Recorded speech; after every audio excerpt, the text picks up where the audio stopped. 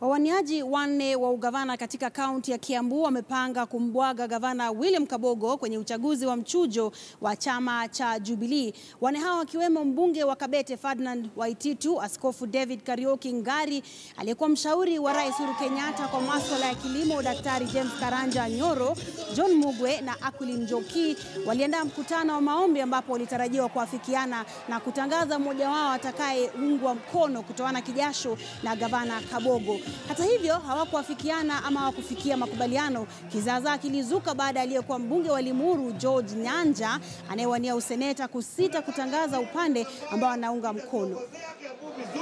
tuweze kuwa na maendeleo. Kiambu tumetaabika, Kiambu tumeona shida for three good years sababu ya uongozi mbaya at the county level.